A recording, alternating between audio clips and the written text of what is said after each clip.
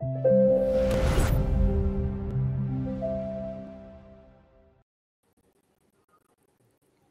everyone, happy to see you today at our webinar. And first of all, let's do a quick sound check. Could you please let me know in the chat if you hear me okay and if you can see the screen as well as the presenter's video? Yes. Okay, it seems that you can hear and see us. So let's begin our webinar. Hi everyone, welcome to the iSpring webinar series, where every week we talk about e-learning trends, share iSpring tips and tricks, and cover clients' cases. My name is Nadia. I'm a community manager at iSpring, and I will be the moderator for today's session. And today's webinar is dedicated to graphic design in e-learning. To understand this topic, I invited my colleague from the tech support department, Irene. Hi, Irina. How are you doing today? Hi, I'm doing fine. Thank you so much. How do you do? I'm feeling great. I'm very excited about today's presentation. And we'll also have Paulina with us today. She is a web and graphic designer in our marketing team, and she'll be happy to cover your design-related questions in the chat. And at this point, let me pass the mic over to Irina to start the presentation. Thank you so much. Hi, everyone. I'm super happy to see you here. Let's start our webinar. So let me stop sharing the camera so that we can only see my presentation. Uh, my name is Irina, and I'm the technical support team lead at iSpring, and I will be presenting for you today. Did you know that it's possible to build eye-catching and effective training courses even if you don't have a designer on your team? In our today's webinar, we will learn how you can easily enhance your existing materials by applying the basics of graphic design. We will be happy to share practical tips and tricks that will allow you to create outstanding and functional e-learning courses that your students will enjoy. And also, today we are going to have an extremely interactive session I need your participation to get the most out of this webinar. So please be ready to be active in the chat. And as already Nadia mentioned, uh, we have a colleague from our design team. Her name is Paulina, and she will be happy to answer any of your questions that you are having regarding design. Let's start with the outline of our webinar.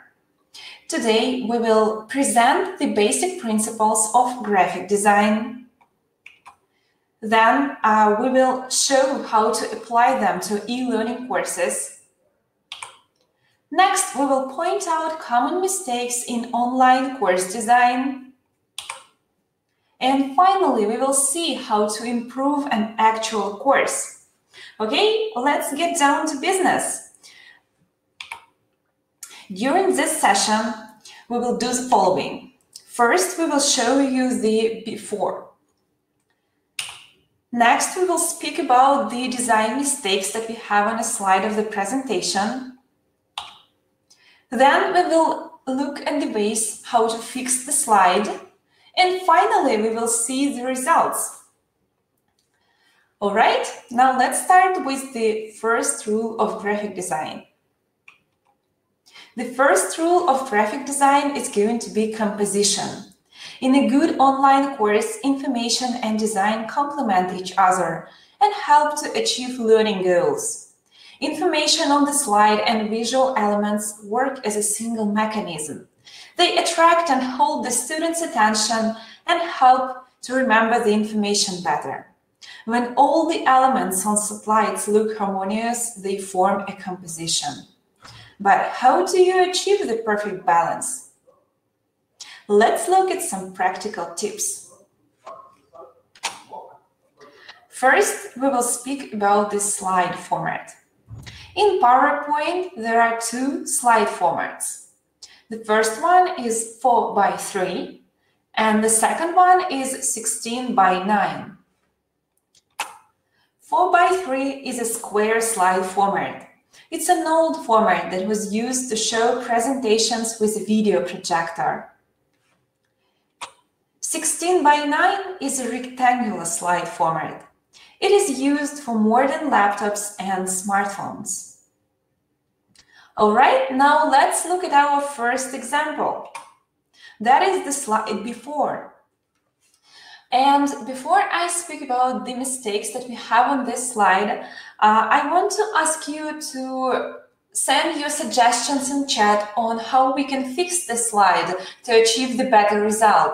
Please be active in chat and uh, tell me your ideas on how we can change this slide to make it look better for our students. I will give you a couple of minutes so that you can think and send your messages in chat.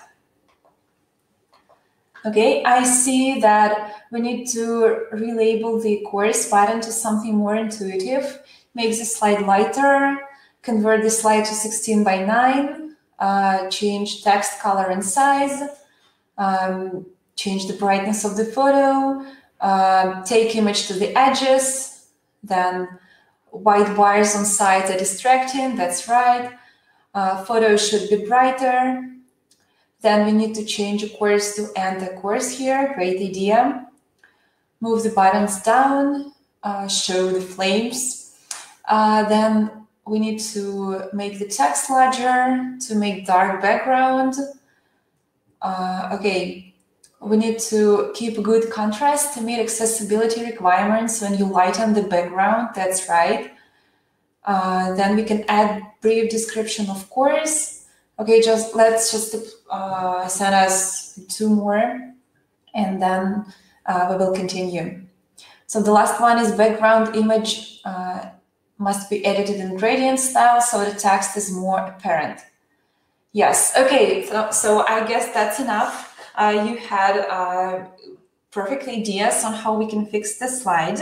So now I'm going to quickly talk on how we suggest to fix it and then we will see uh, the result slide. All right, so here we have extra spaces on left, on the left and on the right. You did mention it in chat. These white spaces distract users from important information in the middle. Then we also have uh, less space for the elements in the middle. And as a result, we have to place them closer to each other, which is causing visual overload. Okay, now how can we improve this slide? Let's see. Here we simply rescaled it to widescreen, which is 16 by 9. And now it's much easier for a user to pay attention to important information. We no longer have distracting elements and the background looks much more immersive. So do you agree with that? I, I think the slide now looks much better. Okay, perfect. I see that it's uh, it looks much better now, and we can move on. Now let's speak about uh, the second rule. And this rule is going to be the rule of thirds. The rule of thirds is based on the perception of the human eye. This means that the image should be imagined as being divided into nine equal parts by two equally spaced horizontal lines and two equally spaced vertical lines. And that and important compositional elements must be placed along these lines or on their intersections. You can see the example on the slide. And actually in PowerPoint, uh, there is a feature, it is called grid lines. You can find it under View tab. So if you go to View tab and enable grid lines, you will be able to see the image divided into these parts. And after we finish this session, I will show you um, how, where you can find this feature. Okay, so we've just talked about the rule of thirds, and now let's look at our first example. Okay, now we see the slide and I'm going to ask you to do the same thing. Please submit your suggestions in chat on how can we fix this. Again, I will give you one or two minutes. Please be active. Okay, we need to move the fire extinguisher to the left. We need to put the image closer to the center. We need to realign the image, right? There is too much negative space between items. Too much visual distance between text and image. Yes, uh, that's right. Uh, we need to move we need to move objects closer to the center, correct? Um, okay, most of you suggest to move uh, text and image closer to the center. It's right. Okay. Uh, next slide button should be lower to the right corner, right? There is too much text. Okay. Okay, I guess you were able to find the typo. Sorry, we will definitely fix this. Okay, actually, I think that's enough. Uh, your comments are great. You are all correct. And now we can see, uh, we can look at our first example. So here, uh, you're right. The image is too far to the right. And as a result, we have a large gap between text and image. And it makes it necessary for the student to look at the image for a couple of seconds which is a lot of time when we are reading. You can actually try it yourself. Just try to read the text and then look at the image, and you will notice that it takes uh, a second to move your eye from the text to the image. Okay, uh, but how can we fix this? Let's see. Uh, first thing that I'm going to do is to divide the slide into nine parts according to the rule of thirds. To do this, we need to draw two equally spaced horizontal lines and two equally spaced vertical lines. Let's do that. All right, now when we edit the lines, uh, the lines, we can clearly see that the text and the image are in the wrong place. Okay, now let's try to move text and images to the correct position. Perfect. So it's time to remove these lines. They helped us a lot. And we can look at the final output. Now text and image are closer to each other and we don't have distracting empty space between them. It's very easy for the student to start reading and look at the image. Okay, so now we are done with the rule of thirds and we can move on to the next rule. The next rule is given to be the hierarchy of elements. The essence of this method is to draw attention to a particular element through contrast, font size, shape, location, and color. And that is actually a very important rule when you are um, so when you are doing the courses that must be accessible. Okay, now let's move on and look at our example. So uh, when we, if we look at this slide, uh, we will notice that it's very important that the largest and brightest objects attract the most attention. You need to make sure that only the most important elements are highlighted on the slide. And now when you look at this slide, please, uh, as usual, uh, submit your suggestions on how to fix that in chat.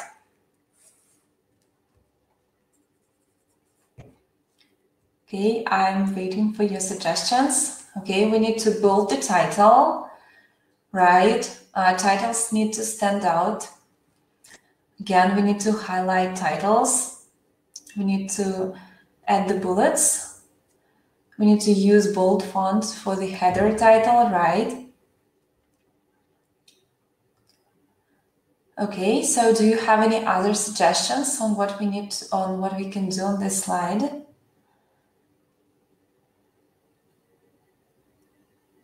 Okay, uh, we need to underline title in bold font. Mm. We need to move the text above the tutor to the bottom. Uh, we need to change uh, the tutor paragraph and add a photo. Uh, not sure that the paragraph below is necessary. Uh, that's a very good point we need to decide what is the most important and highlight that. Perfect. Uh, so Brandon is saying that image is relevant only to the top half of the text. That's correct. That's definitely correct.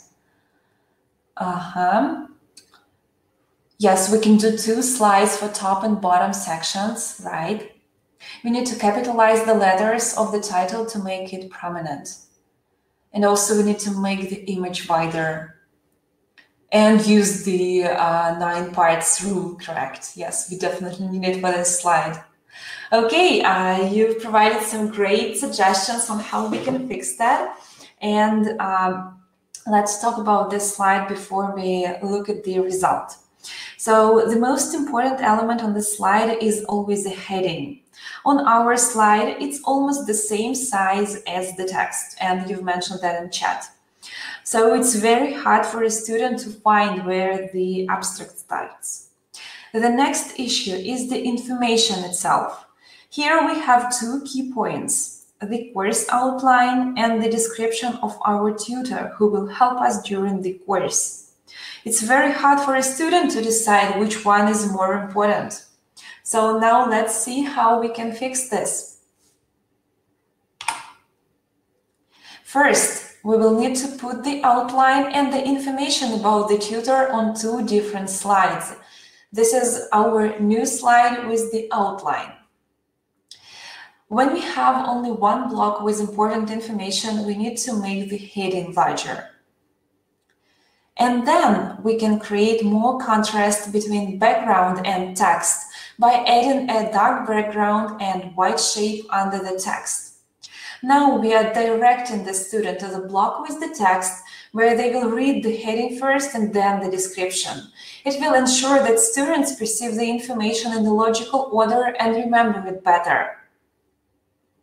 So I think that uh, this slide looks great now and we don't have that here, but we need to add another slide about the tutor where we can definitely add the photo of the tutor.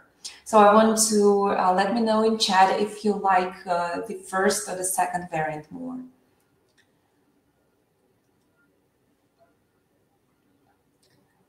Okay, so I see that uh, you think that the second one is better. Okay, uh, so there is a question. I don't see the image you are referring to. Uh, actually, I've just meant that we need to separate the slide into two slides, one about the outline and the second one about the tutor. And then when we create a second slide, we can add an image of the tutor, but we're not going to do that today to save time. Okay, so I guess we all agree that the second variant is better and we can move on to the next uh, rule of the course design. And uh, this rule is given to be uh, adding air to the slide. So um, you must not put icons and text too close to each other. They say that design needs to breathe. So the rule uh, is that 20% of the slide must be blank. And now uh, let's look at our example. So this is our before slide. Uh, let's uh, discuss in chat how we can fix this.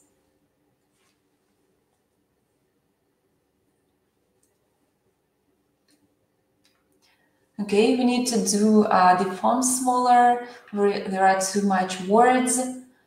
Um, okay, uh, some people seem to like this slide, but it's fine. So this slide is not a disaster. We just need to do a quick fix and it will look better it's uh, not the worst example of the slide design. Okay, we need to uh, change from half and half to a better proportion of water to text, right? We need to fix the text alignment, put less text. Um, we need to make the text more clear. There, there, are, there is a lot of text. Uh, the picture is good. Uh, perhaps take in inspiration from the previous slide in terms of slide, right? Okay, the S should be capitalized since the F is in the title. Mm -hmm. We need to add bullets. Okay, we need to move next slide button to the right side. Mm -hmm. We need to crop some of the black background and maybe add a color block behind the text to help it stand out, right? Uh, we can make the picture larger and add less text. Okay, yes, I think that's enough. Uh, we can move on and see. Uh, so first discuss uh, what is wrong with this slide and then we can move on and see the results. So on this slide, the text is too close to the left and it's actually quite long. There is a chance that students will never read everything we have here. Next, we have an image that is used to complement the material, but it does not have to take so much space. Okay, so now let's look at the result. On this slide, we have a topic of the chapter in the course. We don't need so much text. Just a short description will work fine. It's very important to work with the text and shorten it, leaving key points only. Next, we need to make the image smaller and move all elements to the center. As you can see, it looks much better now. All right, so uh, that was the last rule of composition. And we can move on to the second part of our webinar and talk about typography. I see that you are still submitting your suggestions in chat. That's great. And here we have uh, that we don't need next slide button. Uh, okay, if you have, if you actually, if you're using iSpring Player and you already have next and back buttons, you don't need this button at all because you will have all buttons and all course controls on the player panel. All right, so now let's move on to the second part, as I mentioned, and now we will speak about typography. Typography is a technique of arranging text elements to make written language readable and appealing when displayed. Now let's move on to the first rule of typography. The first rule is given to be to use no more than two different fonts on the slide. There can be up to two fonts in the course, one for the heading and another one for the text body. Let's look at our first example. So uh, now you see the slide with the fonts issue and please submit your suggestions. Okay, Kim is saying that this slide makes her nervous. That's right, I feel the same. so there are too many fonts. Uh, there can be three fonts. Uh, we need to uh, remove cursive, right? Wood and paper font looks too cartoonish. That's right, that's a very good point. No italics, right? We need to change the font of the description uh, the slide looks very distracting and actually does not look professional, right? It's difficult to read, to read, sorry. Uh-huh. The guy is too distracting. Uh, the paragraph needs a different font. The fireman looks angry. well, he's actually making us to be attentive. Then um, we need to I add the bullets instead of images. And also the picture is not in line with the course. Uh, font, actually I see a very good uh, suggestion. Fonts should mirror tone of the message. This is a serious topic, so fonts should be more formal, right? That is correct. Okay, so I think that's enough, and now we can uh, move on to discuss on this slide. Actually, you are all right. On this slide, we can see four different fonts. And of course, as a result, it does not look very neat. Also, this font here does not go along with the topic of the course at all. The, this course is on a very serious topic of fire safety, and the font is too curvy and fun. Okay, now what can we do? Let's look at the result. So here we decreased the number of fonts to two. And uh, we selected one font for the headings and another one for the text body. If you're using subheadings, you need to choose the same font as the body text, but larger or bold. Another important rule is to make sure that fonts are easy to read and here I selected a simple and readable font for my description. Now the slide looks much better. Okay, so I think we are done with this slide where we had the wrong font and uh, we can move on and speak about the second rule. The second rule is to add contrast to the text. Okay, uh, before we talk about this rule, I uh, would ask, I will ask you to react in the chat with a thumb, with a thumb up if you always read a text from the very beginning to the very end, and please put thumb down if you don't.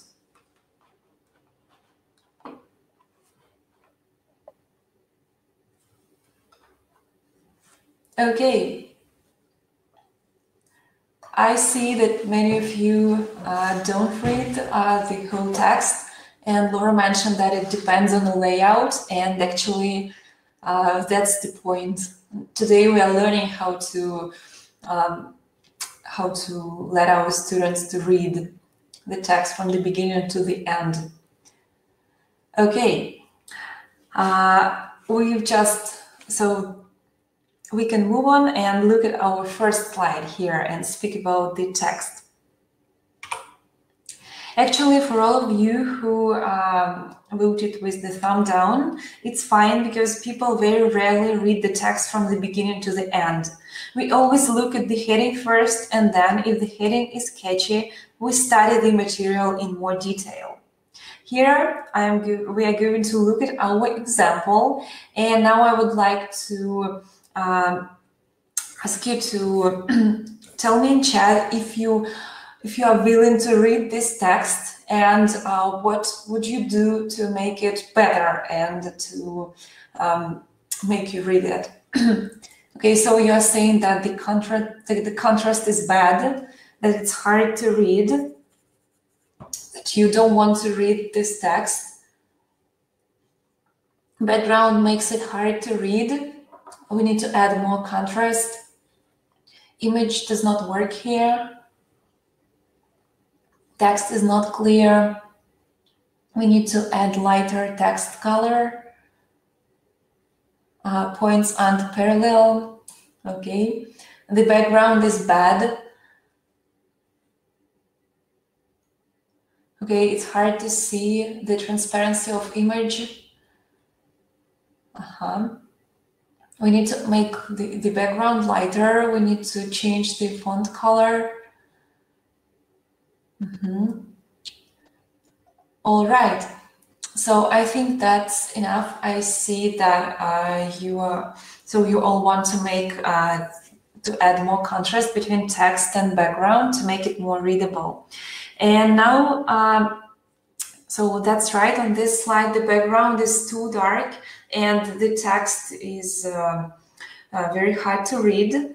So uh, this is building additional obstacles for our students. And our task as course designers is to make sure that students don't have to exert a lot of energy to find and read the information. Now let's see uh, what can be done to improve this slide. Here, we simply added contrast to the text and background. The easiest way to create contrast is to use dark text on a light background, just as we have here. Actually, we have some more comments in chat.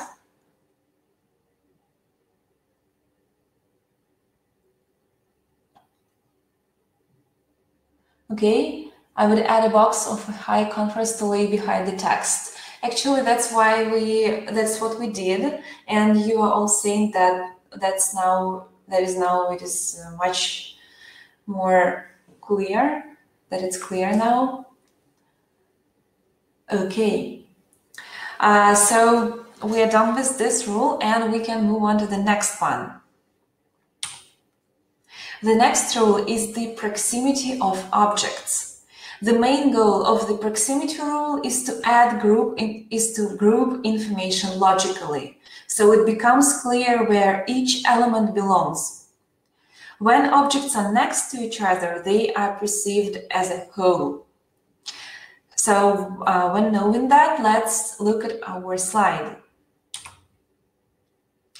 So here on this slide, we have a man and the word bubble and they are too far away from each other.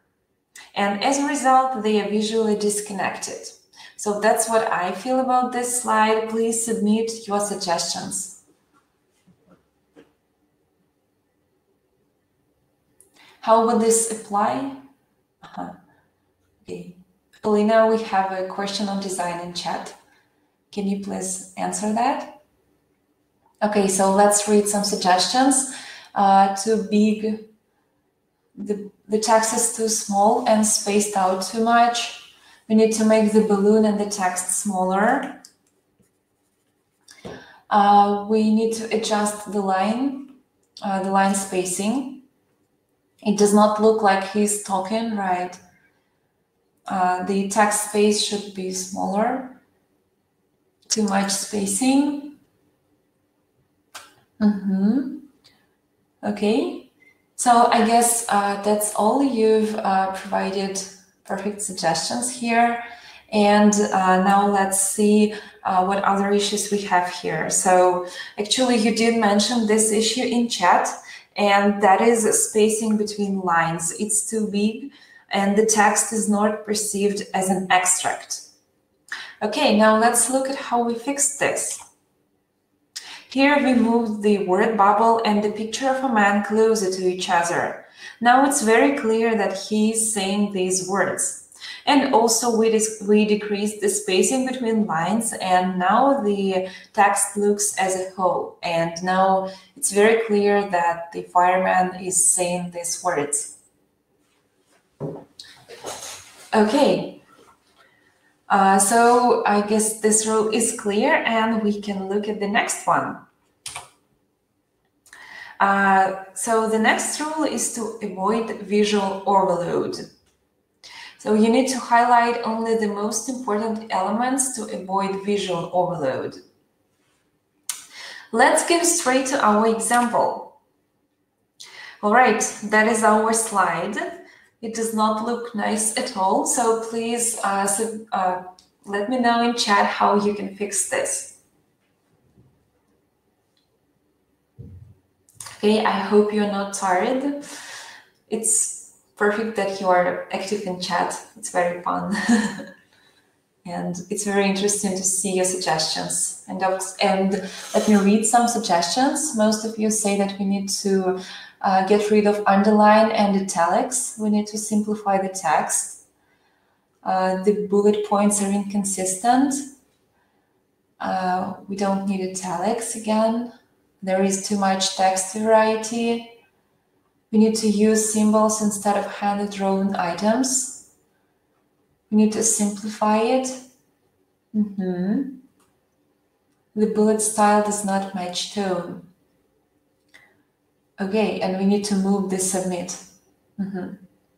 We need to let we need to add less text and add an image. Less text, okay.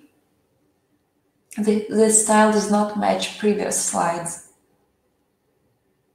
Okay, we can't tell uh, which answer is right or wrong. Mm -hmm. Okay, so um, I guess that, uh, all right, we can move on to discussing this slide. Uh, you've provided some great suggestions here, and uh, you are correct. Uh, here we have too many attributes applied to the text.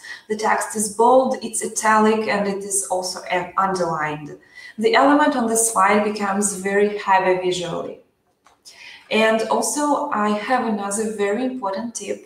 Underlined text usually indicates a hyperlink. So it's better not to use it on a plain text at all, because most students will want to click on it to open a link. And here we don't have any link. All right, now let's look at how we fix the slide. On this slide, we deleted unnecessary text attributes and now it looks cleaner.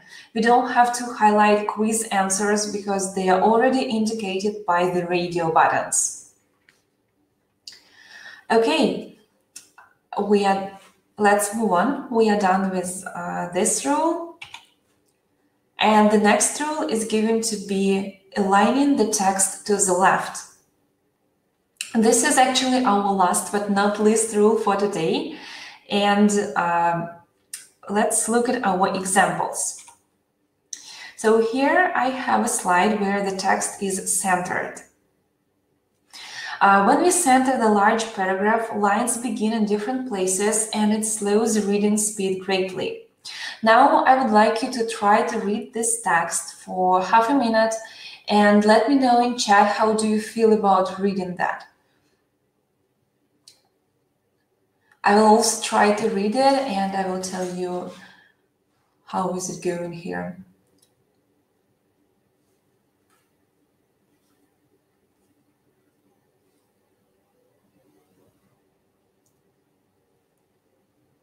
Mm -hmm.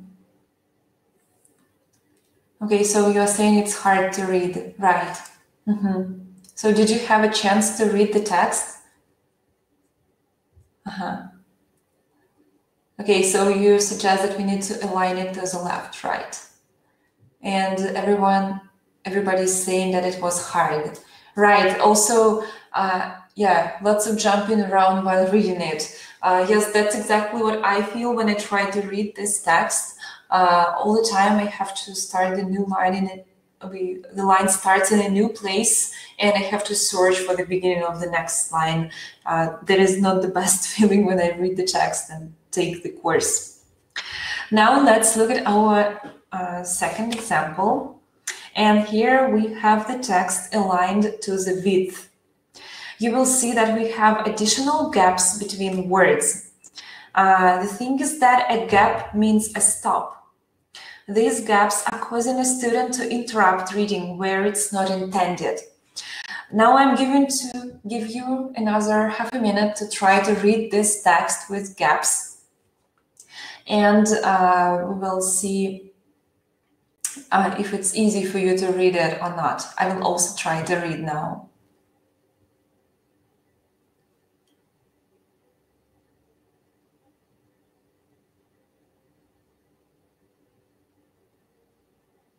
Mm-hmm. So you're saying that it's too spread out, does not flow as well.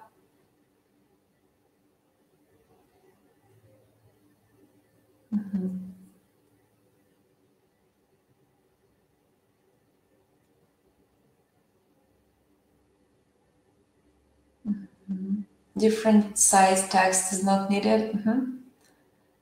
Text too close to is it to the image?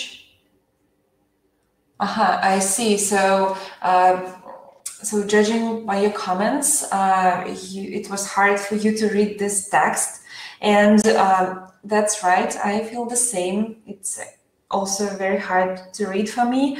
And here I have another tip.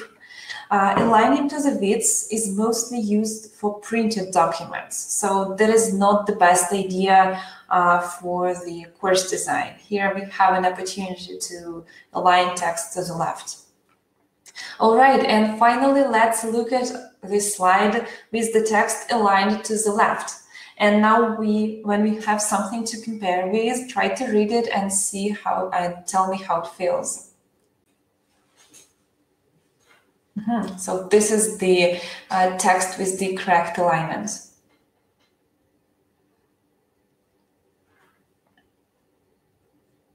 Okay, the, uh, Steve is saying that it's much better, right? Yeah, you send some doubt. Yeah, so now it looks, so now it is much more natural for our eye to read it. And we don't have to stop and uh, we are not distracted, distracted to gaps or uh, jump in lines. okay, so uh, that's that was it. Actually, that was our uh, last rule for today. We covered all tips that we prepared for you today, and now we are going to sum up what we learned and make up a recipe for a perfect e-learning course design. So uh, first, we need to make sure that composition on a slide is unified. We need to use widescreen slide size then we need to follow the rule of thirds. We need to observe the hierarchy of elements. And also we need to add air to the slide. Now let's speak about typography. So we need to keep correct typography in mind when we create our courses. So uh, make sure to use no more than two fonts on no more than two fonts. Add contrast check the proximity of objects, avoid visual overload, and align text to the left. All right, so this is our recipe that I mentioned, uh, the rules that you need to follow when you create your e-learning courses. I hope that they will be useful for you and you will be able to apply them uh, to your future projects and make the life of your students easier and make them love your courses and uh, study with joy. Okay, uh, so we are done with the main part of our webinar and we are ready to start the Q&A session. And we have a couple of questions. There's a question from Wesley. Can you share some tips between trainer-led decks that are going to be presented versus self-paced e-learning decks? In just a second, uh, can, can I find it? Um, Mm-hmm. I was able to find it. So, uh, is your question regarding uh, the uh, self-paced courses and courses that are led by a trainer, right? Mm-hmm. Uh, so it depends on the task of your training. I would use um, self-paced uh, courses for the topics that are, I would say, um, like instructions or something that is well known in your company, that uh, the rules that everyone already follows, you can put this information into self-paced e-learning decks. And for something completely new and something that is um, that would be hard for a student to understand, I would recommend to have a trainer uh, to help the students. And actually, uh, in our iSpring LMS, uh, there is a great feature to contact an expert. And even if you have uh, this self-paced course where students just take courses one by one, uh, you can set it up so that um, student, so that students can contact an expert on this course and ask questions regarding this. So sometimes it's very important to have somebody who will be able to answer questions. And also, I think that self-paced e-learning texts are good for adults because uh, adults often don't have time to study and they need to learn something while they are on a bus. and they can definitely do that from their mobile phone with the course that consists of videos and slides that they can watch and then um, and then use it and practice it right away. We have question from Ron. Please explain your navigation button versus the iSpring navigation when you publish the course. Hmm. I see. So now I'm going to stop my uh, presentation and I will show you the iSpring. So I'm going to open iSpring Suite and here I want to show you uh, the example of the player in iSpring Suite and you will see the difference. I'm going to use the presentation that uh, we learned today so that we use today to discuss our tips and tricks. So you can use uh, player buttons uh, if you don't want to add extra elements to your slides. But if you're planning to publish the presentation without the player, uh, just um, so you don't want to have the iSpring player, then you will have to add uh, PowerPoint buttons. You, you will need to do that with shapes or images plus add hyperlinks to these buttons so that they can take you to the next slide. So I, I would say that iSpring Player is more convenient because it has uh, different features that allow you to control the presentation. Uh, you can add uh, progress bar here. You can add a play and pause buttons. You can add a volume control button. And also you can limit the navigation to, uh, for example, you can set it to limited so that your students don't skip anything important and view the whole uh, slide bar. So yes, as for me, I would uh, use iSpring Player, but sometimes for projects like mini games, uh, it's uh, so the PowerPoint version will also look nice. And actually, we have uh, a series of webinars, PowerPoint versus iSpring, where we show um, some some very interesting courses created in PowerPoint and then uh, their versions created in iSpring.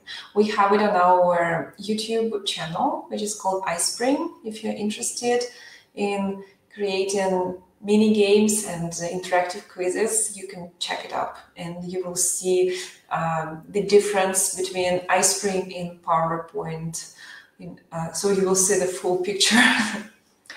okay. I hope I answered the question. We also have the question from Laura. Will you show how to display grid lines? And right, that is uh, what I promised. And of course, I will show you. So to show the grid lines, you need to go to view. And here you can click on grid lines. Uh, you will see uh, this um, dots appear along the slide and it's very easy to use them to make sure that your elements are all aligned and uh, take the correct uh, so and take the correct part. You can also click on guides and move these lines around. You can set up all you need to align your so to align your objects and what is very nice See here, I have an iSpring icon. I put the guidelines and when I move on to the next slide, I can make sure my iSpring icon fits, is in the same position as I have here. See, it's very helpful when you create course design. And as for the ruler, it's very nice to, to use too. You can uh, check the exact position where you place the elements.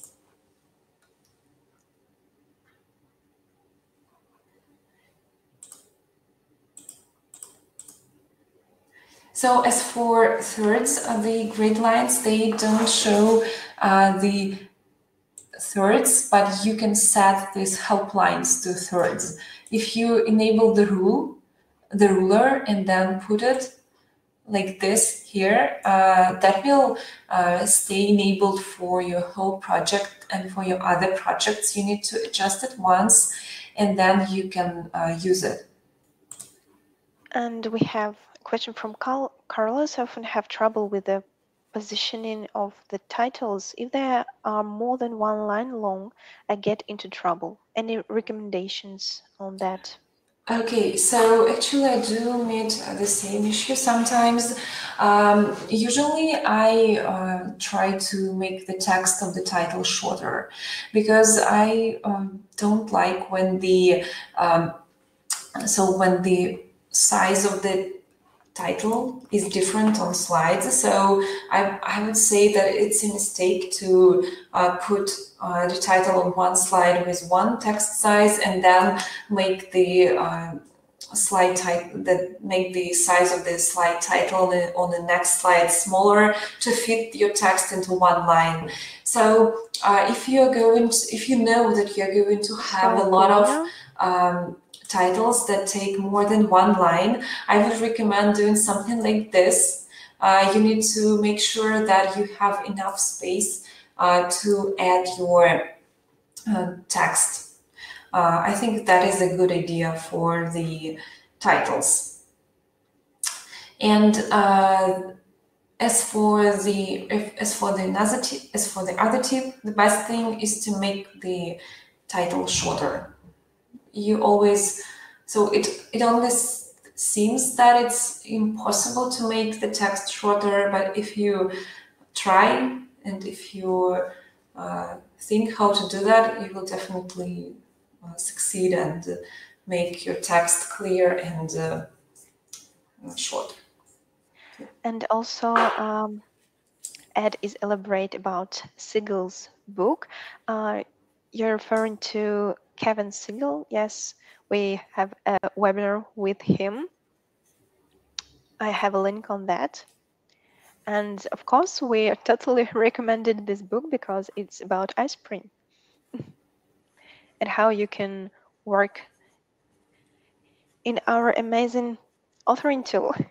And speaking about iSpring, uh, we have uh, um, great content library that is full of slide templates. And um, if you use iSpring Suite Max, you will have access to the whole collection of slide templates. And on this slides, uh, the text, the titles, the bullets, everything is perfectly aligned and the design already looks great. You can use um, any of these slides and you can uh, set up 12 courses using that. For example, if I click on this one, you will see that you already have all sorts of slides for uh, that can serve different purposes where you can add different information. And uh, Carlos is asking, what about the copyrights for the images in those slides? All of these images are created by iSpring. And uh, if you have iSpring Suite Max, you can use these images in your courses. Thank you very much. And unfortunately, we don't have enough time to cover more questions. Thank you very much, everyone, for coming today again and spending that valuable hour with us. And I hope you have enjoyed our today's session. Bye and have a great day. Goodbye, everyone. Uh, I enjoyed this webinar a lot and I hope you too. I hope that these um, tips will help you to build uh, great projects. Have a great day. Goodbye. See you.